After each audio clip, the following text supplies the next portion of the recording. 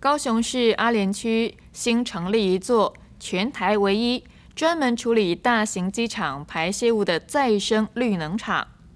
可以在一天之内同时处理八十吨的鸡粪，还有一百六十吨的污水，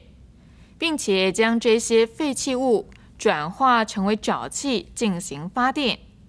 一天的发电量高达了一万六千八百度。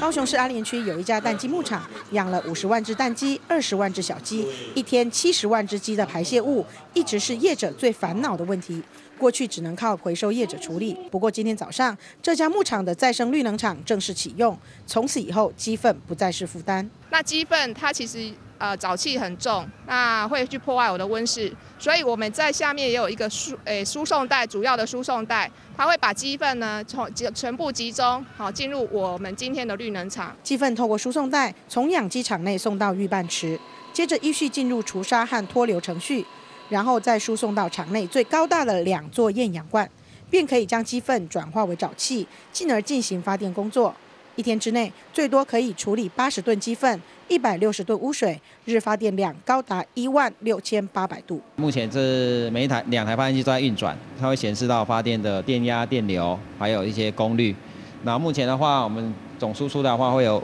五百六十三 k 瓦，那我们场内的话就使用四百 k 瓦，那剩下的。会有一百六十三 k 瓦是卖给台电。这座再生绿能厂花了三点五亿资金，历经两年时间建造。虽然对淡金牧场来说是一大笔成本，但是长远来看，这套再生绿能的设备不只解决了环保问题，也成为牧场的另一种金鸡母。记者李慧仪、孟昭全高雄报道。